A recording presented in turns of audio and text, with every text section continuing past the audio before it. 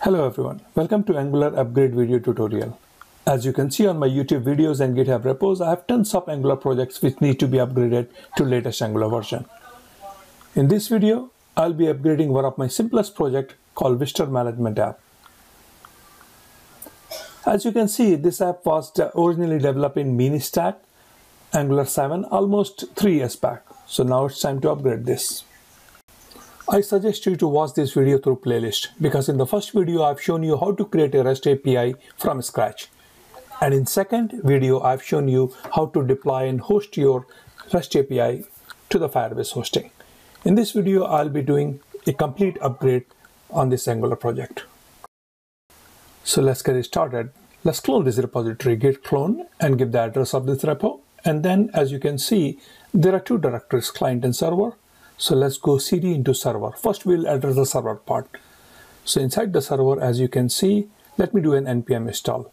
And I'm telling you, this is going to be a very, very bad command. I do not, you do not want to do it because you know this app has been written almost three years back, and as you can see, it will throw a lot of errors here. See that? So the better way I would have done this is going through each and every file and addressing the problems. So let's go first open that uh, directory here all right inside server let's open first file called readme. Even though it doesn't impact this project directly but let's go update few things here. So instead of angular 7 i'm going to mark it as angular 13 which is uh, the version as of the, the latest version as of today. All right let me save this. Now what i want to do here uh, let's look at the mit license. Let's choose the license as well. Save this. Okay now i want to create a new file called .gitignore because I do not want my node modules to be included to GitHub repository. Okay, so let's mention node modules. And I also want to include uh, something package lock.json file because this file always gives a lot of trouble when uh, you, you know, upload the code to the GitHub repository. All right.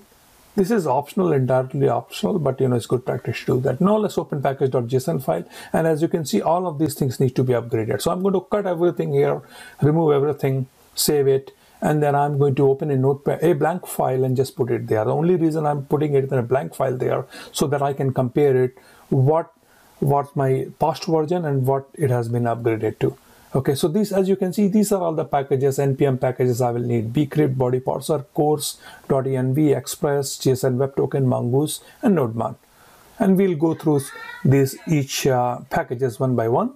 Let me just do the npm install hyphen hyphen save, and let's just give this package names. So automatically what this npm install it will do, it will grab the latest version of all of these packages here. It's going to take one minute all right now let's go open the package.json file here and open the uh, the textpad file okay? Now let's compare the version what was there before and what has been upgraded to now. As you can see bcrypt is now version 5 earlier it was um, version 3 uh, same thing. Like a lot of different packages as you can see everything has been upgraded. This has been three year old repository. Now we don't need the old uh, uh, textpad file here so i'm just going to delete everything. All right. So here now everything is like i'm not going to change anything else here okay? Uh, of course there's one thing i'm missing is .env file .env is the file where i'm keeping all the functional configuration parameters. So for example port number mongodb url uh, JWT secret um, so all of those variables I need to put it here okay? Allowed origin. Allowed origin will be using uh, inside the cors. So again if you want to know what these things are please watch the video number one where I've explained all of these packages in much details. Now everything is out there. I have already done the npm install. Now let's go try to do npm um, so what was the command? Package.json npm start okay so npm start, what it will do, it will execute nodemon index.js. So I'm just going to issue the command npm start, and as you can see, beautiful. I have seen not even a single error on my server side. Okay, so and this is I've, just, I've been just lucky otherwise like usually there are some commands some uh, places you have to change it again though my server directory looks good I wish uh, my angular upgrade could be that smoother as well so now let's go close this out Now let's go cd into the client version here. I want to call out there are different ways to do the same upgrade. And this is the method I'm choosing is just like a more hands-on and traditional way. So first thing I'm going to do, because I know I'm upgrading from Angular 7, and I would expect a lot has been changed from Angular 7 to Angular 13. So what I'm going to do here, uh, I'm going to first create a backup. So let me just take your client directory here, inside client, and I'm going to create a copy, say move client to client underscore backup. And the reason the way I'm doing it because a lot has been, especially the the mechanism, the way Angular builds this project has changed. So that's the reason I'm doing it like this. So now let's go. There is no client exist anywhere. Okay, so I'm just going to remove the client directory here. All right. So now what I'm going to do, I'm going to set this up as a brand new Angular project. So to do that, first make sure that you have Node installed and then NPM comes built in with the Node. You don't need a separate installation. Next thing you will need an Angular CLI. Make sure that you have the latest Angular CLI version installed your machine. So npm install hyphen g, that means globally, globally Angular CLI. I don't already have that, so I'm not going to do that again. Next thing you want to do, you want to check the version of Angular Angular installation. ng version, it will show you what is the Angular CLI version installed on your machine. Next thing you want to do here, ng new, and you want to create a new project called, I'm going to just name it as a client, and I want to set up set up a routing, choose the CSS, and then hit enter. Is going to install all the necessary uh, npm packages. All right, it's pretty fast now. Okay, now let's go ng no uh, you have to be in the directory where your uh, package.json file is. So cd into client and then you do the ng serve. It will install a brand new angular um, version uh, sorry it will start serving your angular application on port, port 4200 all right it will take a minute. First time when it compiles it takes a minute and after that subsequent builds are very very fast. All right so as you can see application is working. So if you go open a browser window and go to your localhost 4200, you will see an, your Angular application running. All right, perfect. So now this was the application. Um, this is a brand new application. Of course, this is not the application what I had. So let's go go back to your cloud client backup file here and I'm going to copy paste one file at a time. So let's go um, Uh, at the root of the directory as you can see first file is the angular json file here. So angular json file i believe there are a couple of places i have to make changes. So for example i am using my own style sheets which i had like you know under source as a, as directory and inside sh directory i created another css folder. So i'm going to copy paste this and same thing with the favicon ico files. So make sure all the assets images css file um, I'm just going to move this over here. So let's go to the new version of angular.json file. And here I'm going to in, remove that old styles.css file path and uh, include the new version. Same thing with the favicon.ico. I'm going to include this here. All right, save this. I do not think that I do need to make any more changes here in this file. I'm done with angular.json file. Let me close this. Okay. Next thing I want to do here let's open package.json file here. So what i'm going to do i'm going to copy paste the old version and the new version and put them side by side. So as you can see i had the my old version was 7.22 and the new version is 13 and i'm going to you know make sure that each and every package what i used in my past version is already included. So this is the you know you have to be very careful. Here i am manually browsing through each and every package and make sure that i'm not missing out any package. And of course all of these packages are using the latest version. So 13.3 which is the latest version as of today. All right save this next thing I want to do go back to index.html and remember we have changed the uh, file the favicon.ico file has been located inside assets and css directory so let me copy that assets directory as well and then I'm going to do I'm going to change the path so assets icons uh, uh, let me just include all of these things here okay you don't need that because you have already included those in angular.json file here. So you only need to change um, that favicon.ico. Okay, remove this, save this. Okay, that looks good now. package.json file. I've already done that. So anytime, just make sure that if you have any new file, make sure to do the npm install again. If there are any new packages have been included. Otherwise, uh, so let me check environment.ts file, environment.prod.ts, both looks good. Now, all of these files, as you can see, I have, let's copy this app directory and sh directory, and I'm going to move the entire all of this folder so basically whatever inside your src directory copy paste the entire thing here. But be you know make sure that you glance through it and do not copy any files which you do not need.